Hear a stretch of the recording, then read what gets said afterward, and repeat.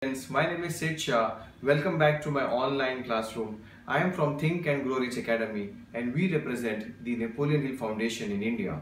In this short video, we are going to cover up the three basic enemies of having applied faith.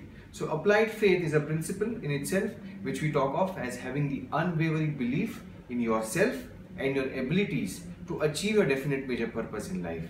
And what are those three enemies which you need to be completely eliminating from your mindset if you want to have that applied faith? Well, I have coined an acronym for that for easy remembrance and as a memory hook. It's called FDI.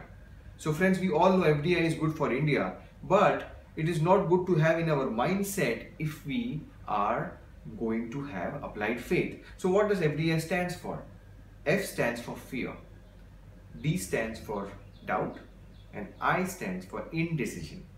So friends, this FDI is the killer. If you have this FDI, you cannot have applied faith. You cannot have both the things together in your mindset. To have applied faith, eliminate FDI completely from your mindset and you will get that that belief system that I am going to achieve my definite major purpose in life. I hope this video is useful and interesting for you. To know more about our coaching programs, log on to my website sidshah.co.in, mobile number 98200 23589. Thanks for watching the video friends.